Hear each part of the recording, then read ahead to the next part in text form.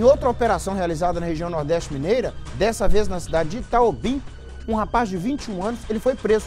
Durante a ação, grande quantidade de drogas foi apreendida. Eu vi em cima do, da viatura da polícia ali, é bastante droga, hein, Fantoni?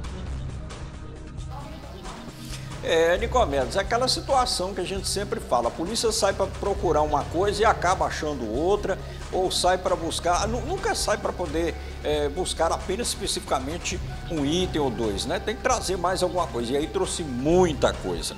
Foi desencadeada uma operação com o objetivo de cumprir mandado de busca e apreensão expedido pela Justiça contra um cidadão de 21 anos. Ele não encontrava no local onde, foram, onde foi cumprida essa ordem, mas os policiais, ao fazer buscas a respeito dessa situação, eles acabaram por encontrar no, as margens do rio Jequitinhonha 29 é, barras de substância análoga à maconha, parecida com maconha.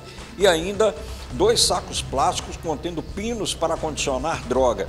Esse material foi recolhido, é, levado para a delegacia de Taubim. E aí, às vezes, Nicomedes, as pessoas é, questionam, né? Ah, mas está é, colocando situação, é, substância análoga à maconha. Ué, maconha não é maconha.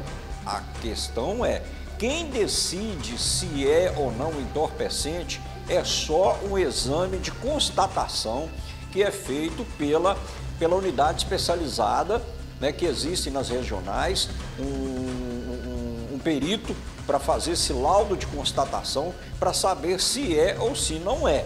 Já teve muita situação aqui em Nicomedes que se apreendeu barras de substância e alguém disse que era maconha e no final das contas era capim com vela.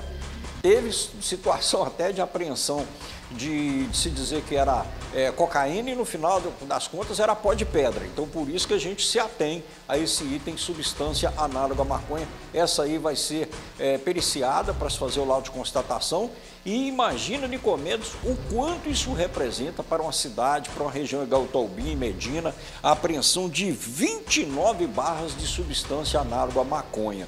Quantas famílias, quantas vidas foram poupadas com essa ação preventiva da Polícia Militar?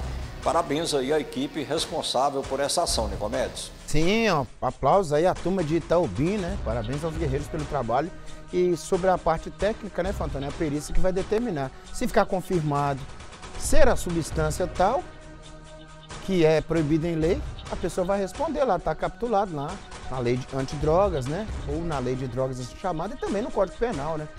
Caso contrário, ficar constatado que não é a droga, aí já é uma relação de consumo, né? Vai lá pro direito consumidor, né? Quem comprou gato por lebre, que se lasque para lá e reclame, né? É, fazer o quê? Obrigado, viu, Fantoni Peço?